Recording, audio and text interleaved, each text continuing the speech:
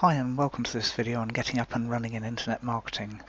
And internet marketing has similarities with other businesses, but it also has a lot of differences, and those differences can trip us up if we're not careful. But they can also make the difference between actually earning money or not. And this isn't a checklist, but the aim is to help you identify what you're doing or not doing and what could work better for you.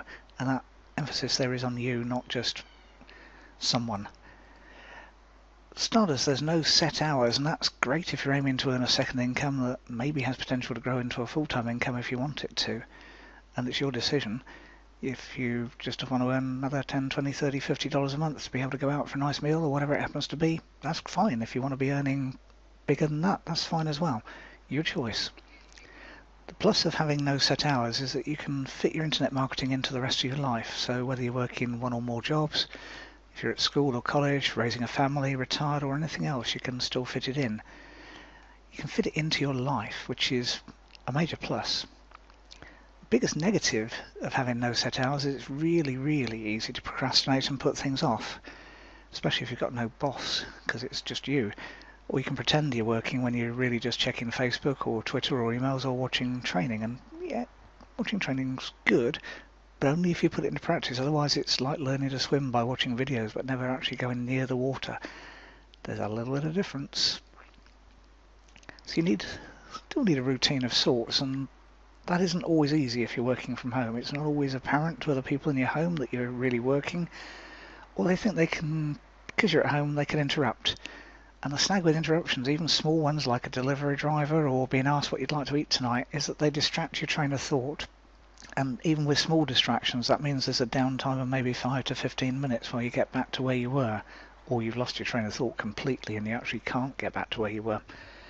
And that can be a big chunk of your working time if you've only got, say, an hour or so to devote to your internet marketing. And yeah, an hour is plenty, but not if a quarter or a half of it is recovery time from interruptions. So, if need be, lock the door or hang a do not disturb sign on it, or even just go to the coffee shop and do your work there whatever stops you getting interrupted, because a set amount of time is good, so long as you're actually working. Then with internet marketing, there's next to no startup cost. You've already got a computer and internet access, almost certainly. Near enough everyone in the first world has. You don't absolutely need a website or hosting or an autoresponder, although they're all highly recommended and they're not a major expense. All in, all, in all, less than a coffee a day if you've got time on your hands, you could probably get professionally set up for well under £100, probably as low as $20 a month. And that's good in a lot of ways, but it can also mean you don't treat your investment carefully. When I first started, a domain name was a lot more than the $10 or so it currently costs. I think from memory it's about £60, which is about $100 a year. Having emails sent to my domain added a lot more, about £200, $300 a year from memory. Web space was expensive and scarce. I I do pictures now that would have, would be more than the web space that we were renting. Crazy.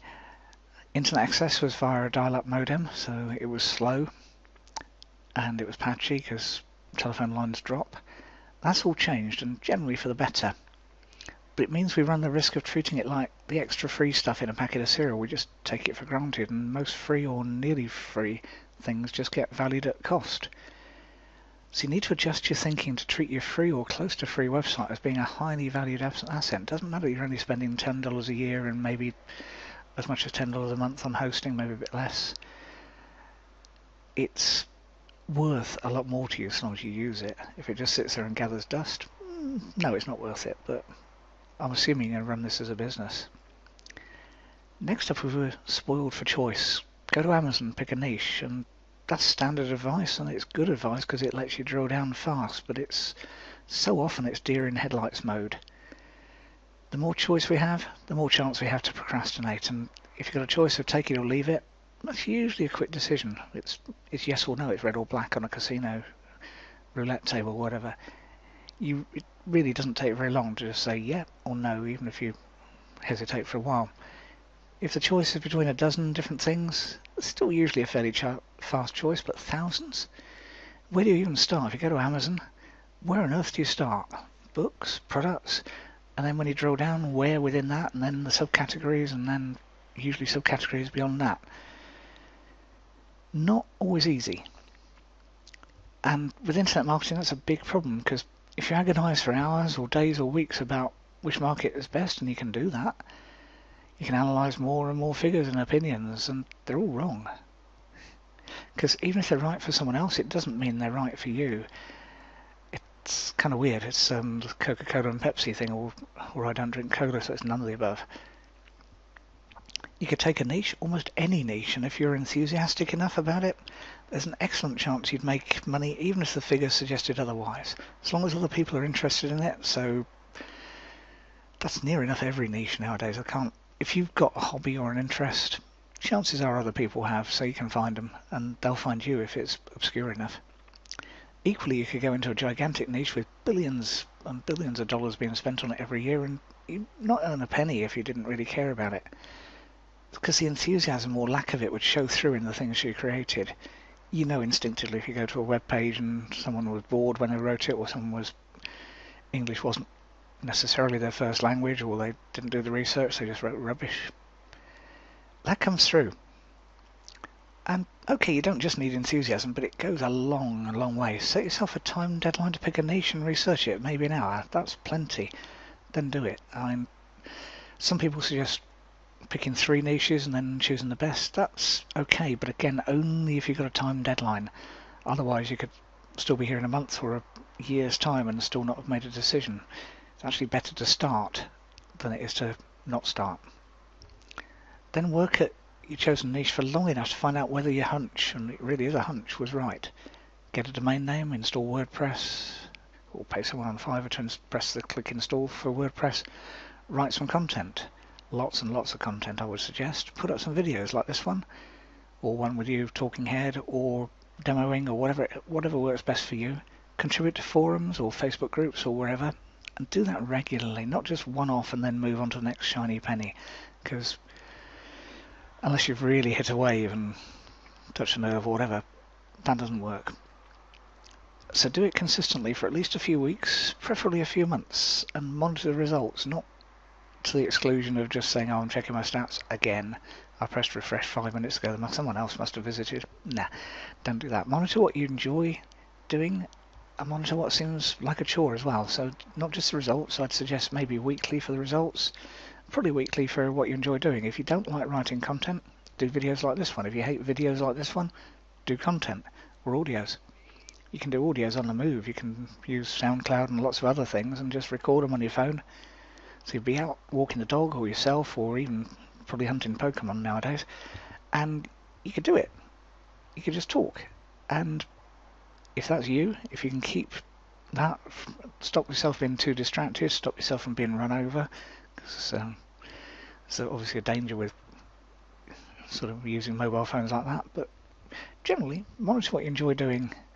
Chat with people in your niche as well. Facebook, Twitter, forums make that easy, and help them because when you help them, you'll find out what they actually want. You, you'll find out where they're stuck.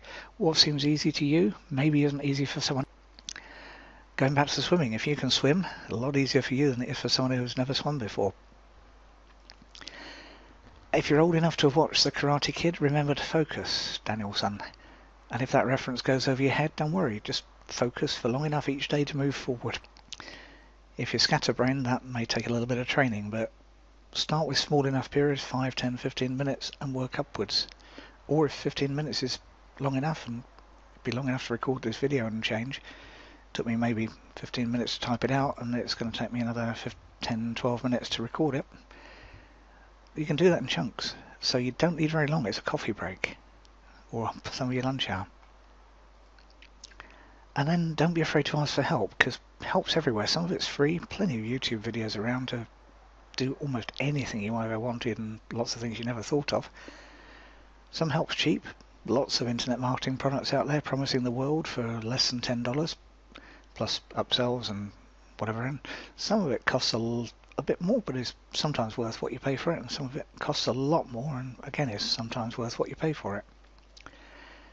I'd beware of those $5,000 coaching programs where it seems as though you'll get coached by the guru till you've actually read the sales page carefully and found out all the disclaimers and weasel words.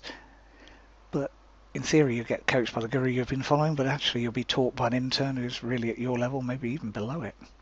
Some of these are valid and well worth the money, but others are the modern day equivalent of snake oil, and it's difficult to know the uh, difference between them in advance. So take smaller steps. You wouldn't have enrolled for a college course when you were just starting school for the first time. Same goes for your internet marketing. And narrow down who you listen to because there are so many different ways to do things. You'll become just become confused otherwise. It's if you got 20 emails a day arriving in your inbox, and that's probably low for an internet marketer, there's probably 20 different things you can do. Occasionally, five or ten of them will be all the same offer, and you'll be thinking, oh, well, if I just had that. And no, it isn't. You don't need that new offer. Honest. Whether it's from me or anyone else, you don't need it. You've almost certainly got enough knowledge. If not, go out research it.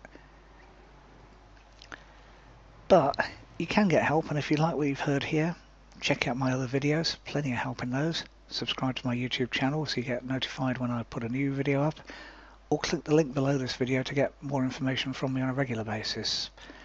I tend to be fairly real world, hopefully, and tend to be not shiny penny chasing very often. Do my best to filter those out. But no choice, your your choice, no pressure, and I but I'd be wrong. Well, stumbling on my words here.